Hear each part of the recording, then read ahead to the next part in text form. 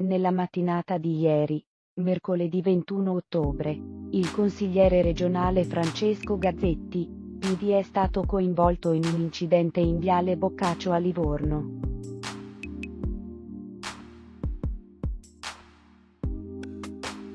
La sua macchina, in cui Gazzetti era alla guida, ha impattato contro lo scooter di un uomo, Roberto Zagni, 73 anni e volontario della Misericordia di Montenero, morto per le lesioni riportate nell'incidente.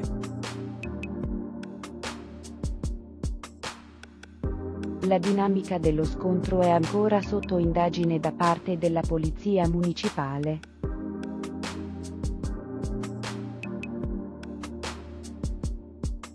Il consigliere regionale Francesco Gazzetti, reduce dallo scioccante incidente in cui ha perso la vita Roberto Zagni, gli ha dedicato parole addolorate sulla sua bacheca Facebook.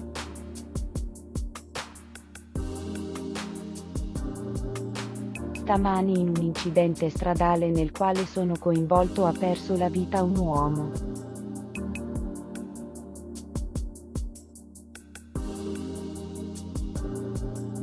È accaduto a Livorno. È una giornata tragica e tremenda e non ci sono parole in grado di descriverla.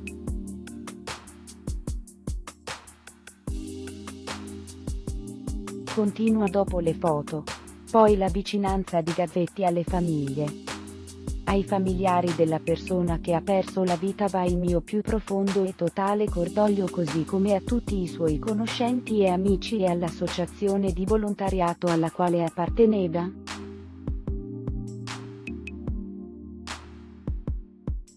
Sono ore durissime e drammatiche e il mio pensiero è rivolto soltanto a loro. Roberto Zagni era tanto amato, era diretto alla misericordia di Montenero per cominciare il proprio turno di volontariato.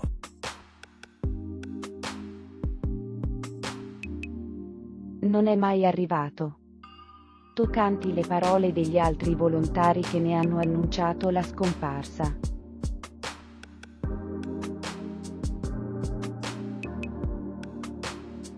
È con profondo dolore che annunciamo la scomparsa del confratello Roberto deceduto stamani in incidente stradale mentre si recava a prestare servizio per il suo turno di volontario a Montenero.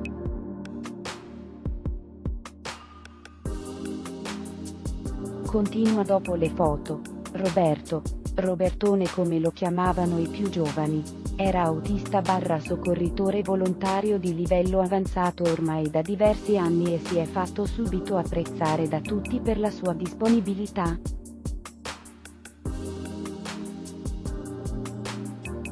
È entrato in punta di piedi come spesso accade ai nuovi arrivati. Pian piano il suo impegno e la sua umanità lo hanno portato ad essere sempre più coinvolto nelle dinamiche della nostra associazione tanto da entrare a far parte del consiglio direttivo.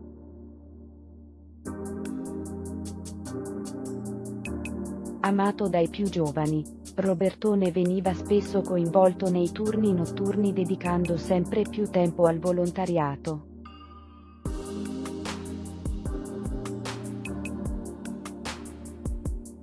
In conseguenza delle restrizioni anti-Covid, in occasione delle cerimonie funebri, vi aggiorneremo sullo svolgimento del funerale.